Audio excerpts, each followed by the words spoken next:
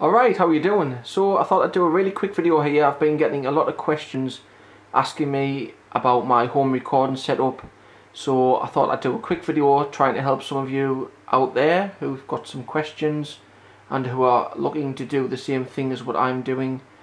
Um, there's a, a, little bit of confusion but there really shouldn't be. It's it's really really simple and uh, pretty you know quite cheap to set up and get yourself going so hopefully I can help you out here. So if you're not familiar with my videos I record my guitar tones um, and videos with a Fractal Audio AX8 so this will apply to things like your Line 6 Helix and your Headrush pedal boards or anything digital like that.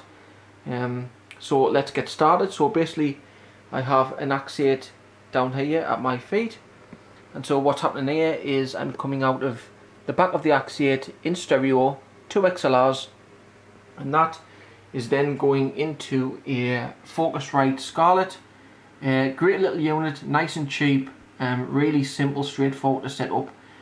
This is the 2i2 you can get more input if you wish um, but this is okay for me for what I need. Just two inputs left and right um, simply just come out of the back of the USB cable into your PC or your laptop or whatever you have install the drivers and you're pretty much good to go from there. Then from there all you're going to need is a piece of software. Um, I was using Pro Tools but me and Pro Tools don't really get on so I prefer to use Adobe Audition. Um, I've been using this for years. I'm really familiar with it and that is what I prefer to use. Um, monitor wise I would recommend these really cheap but great monitors. They are the Tannoy Reveal 402s. Really cheap, but really good. Um, nice and small, compact. Uh, you know, if you're just in a small room like this, they're perfectly fine. You don't need anything bigger. They're plenty loud. You can also watch, you know, your films, your movies, your your TV shows, whatever. And they're also great for that. Just one set up out the back there and either side of the desk Again, nice and cheap, really good. They do tend to flub out a little bit if you drive them too hard.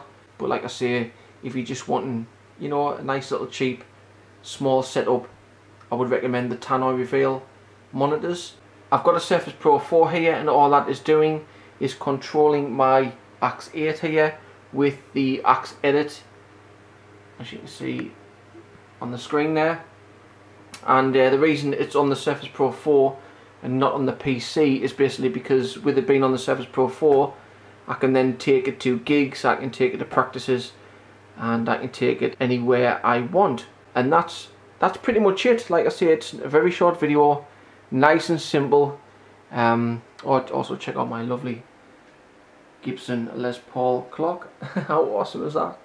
Um, yeah like I say you might have a laptop already so all you're really going to need is something like a Focusrite Scarlett or an M-Audio whatever unit you desire. Um, like I say, nice and cheap, easy, simple, straightforward. Uh, and a piece of software, some monitors, or obviously you can use headphones if you've already got headphones. A nice good set of headphones. And obviously your preferred choice of digital modeler. Uh, a Fractal Audio AX8 in my in my situation here. So that's it. Nice and straightforward, easy, simple. So hope you enjoyed, hope this helped some of you out there with the questions. Uh, any questions you've got, I will try and answer to help you. And uh, yeah, please subscribe. Hope you enjoyed the video and I will see you later.